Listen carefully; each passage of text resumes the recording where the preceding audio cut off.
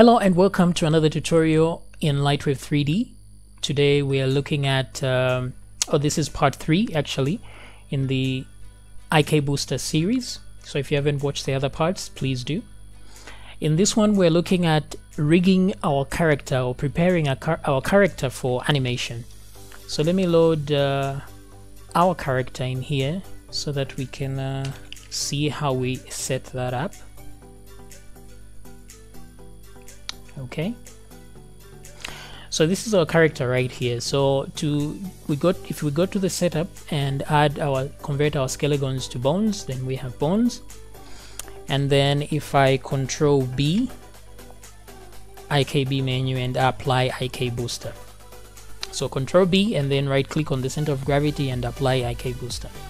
Alright so IK booster is applied. In case your controller size is too big for your bones. If you see those round things on your bones just go to options here down here on the IKB menu and make sure controller size is at zero.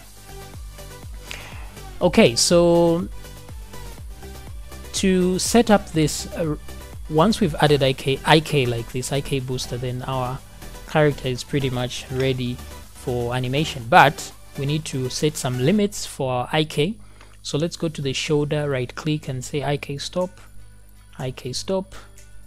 On the neck as well IK stop. And then on the hip IK stop IK stop. So that's good because now we can uh, let's go to frame 5 we can actually click and drag some of these things without affecting the whole body and the head as well and the feet as well. But when we move the whole character moves together. We want the character to kneel down. So we right click and say fix and on top there fix. Uh, we have two bones in sequence here that we are fixing to make sure that the feet stay put on the ground. So there are two two bones there in sequence.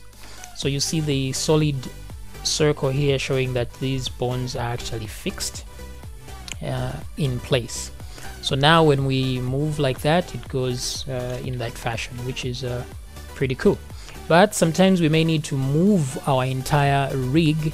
So what we do is we go to items add a null object and let me call this null uh, the master. So I'll call this master or I'll put the name of the character here in master so that in case there are many of these they don't conflict when you load scenes from other places. So let me add also let me let me do 0.5 scale add a ring okay so something like that. So that is the master for the whole rig. So we're going to have the body of this character parented down there. So I'm going to use Matt Gorner's tools uh, store select assignment tools here. So I'm going to click on the uh, oh you may not actually have this tool but if you don't let me use the motion option. So let's go to the null object the master or let's go to the body itself the body of the character and hit M for motion options. And let's go to parent item and select what we want to parent it to. So let's go down and parent master. So master becomes the parent okay? And so let's go to our null and create a new null and this time this one will name i underscore target okay we can put a name of the character here to avoid conflicts with other scenes. This one I'll put at point 2 and then I'll get a pyramid shape for no particular reason. So at frame 0 if I move the this is going to be the eye target. So wherever I move this thing that's where the character will look. So what I do is I go to the uh, bone here that's in the eye so now the way this uh, bone is set up is that it's halfway through the uh, halfway through the the eye so that wherever this bone is pointing that's where the eye will look. Okay? So let me select that bone hit motion options and then go to go uh, not go actually it should be the target.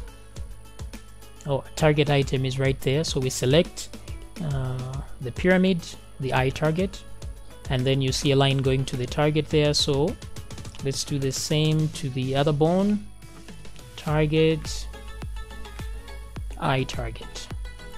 so now what happens is if I select this item let me remove that central thing and let me remove the bone x-ray as well. So if I move it around you see the character uh, looks wherever that is. This is important because if you're animating your character and you're moving them around like this they will maintain eye contact with whoever they are talking to. Alright so we need to parent this also to the master. So that should have a parent item which is the master. Oh it's at the top now. Master that way if we move the master we move everything. Okay. So now that we have that our rig is completely done. So now we can begin our animation so to frame 5 we can begin control B. Always remember to press control B if you can't see the IK booster numbers like down there. That's when you go to IK booster mode and out of it you can uh, remove the bone x-ray. If you don't like seeing bones you still be able to do your animation quite okay. Alright so that's uh, the basic idea of uh, rigging your character for movement. Now if you uh, really want if you really want to get in depth you can go to the fingers as well. Let me center this one right on the edge of the fingers there you can right click and say IK stop as well so that you can click and drag the fingers. Oh, as you can see the weight maps are not very good on these fingers. So I can go to this one as well. So if when selecting bones this is a bit difficult you can right click and go to controller edits and click and drag these controls around then edit end so that uh, there's more room to select each bone or if you don't like this you can simply move your arrow keys your up and down arrow keys until you get to the bone that you want. Uh, yeah like this one and then you can right click and add IK stop. So that way uh, this IK also works very well for that finger there Okay, so you can put IK stop on all the fingers and everywhere that really you want the IK to stop. And that's about it. That's how I rig my characters and this is enough to make them animate uh, into any pose that I want.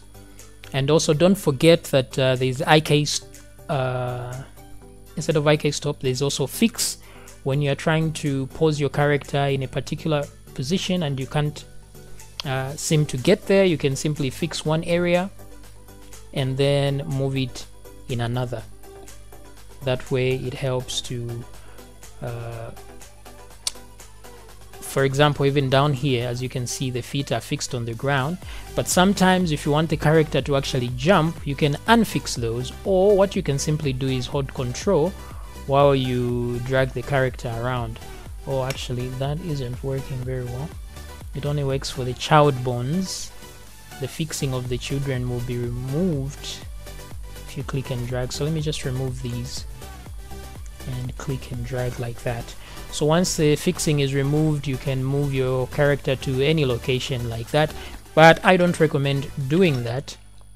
When animating I would rather if for example it's a jump I would do the jump right here and bring the character back so I make sure that every motion that I make is uh, brings the character back to the center point.